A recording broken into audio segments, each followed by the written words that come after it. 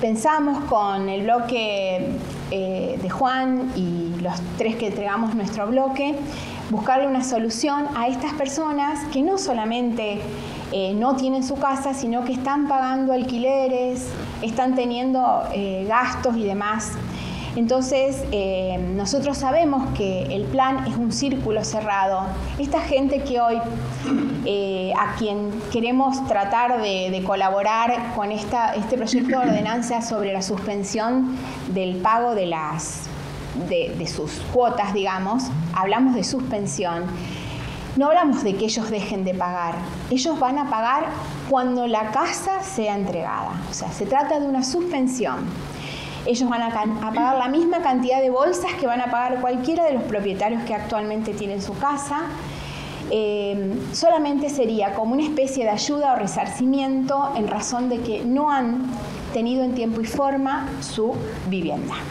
Nosotros, eh, al menos yo y también, por supuesto, primero también el, bloque de Juntos por el Cambio, eh, tenemos una concordancia eh, total respecto de este tema y lo queríamos hacer público y no solamente hacerlo público, sino definitivamente llegar hasta las últimas instancias para hacer una presentación con un proyecto de ordenanza para que se este, formalice de una vez por todas la suspensión del pago del adherente.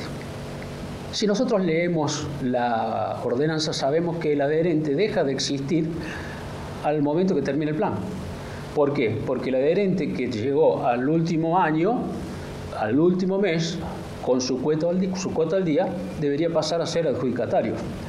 La situación es que la verdad que desconocemos, porque esa es la realidad, sabemos que están faltando más de 100 casas que entregar, eh, esto es imposible de, lograr. No solamente eso, sino que dentro de la ordenanza que hizo el oficialismo, eh, hay un plan de entregas de viviendas que, como una audiencia que tuvimos este, días atrás, tenemos la lamentable certeza de que no se va a cumplir el mismo plan que el mismo Ejecutivo presentó y que el mismo oficialismo aprobó en el Consejo Deliberante.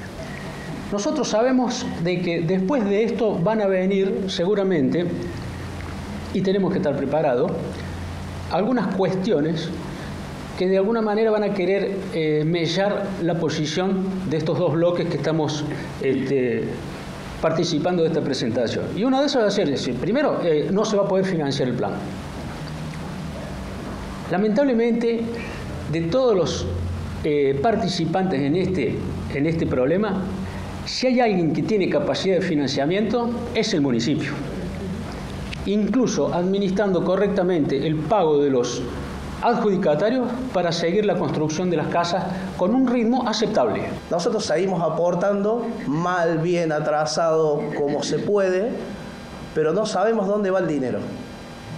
Y el no saber a dónde va tu dinero y un faltante de más de, quiero ser lo más preciso en el número, 150 casas, si no me equivoco en total, del plan, de las 600, y seguir aportando para qué? Porque ahora el 30% que ronda entre el 32 y el 34 de morcilla, tanto en propietarios como adherentes, por lo visto no influye porque seguimos pagando y las casas no se hacen. ¿Qué diferencia hay de que se suspenda momentáneamente el pago hasta tomar posesión de la vivienda? Yo creo que no influiría ni en el avance de obra, porque las casas siguen sin hacerse, ni en el caudal de dinero que ingresa a la municipalidad.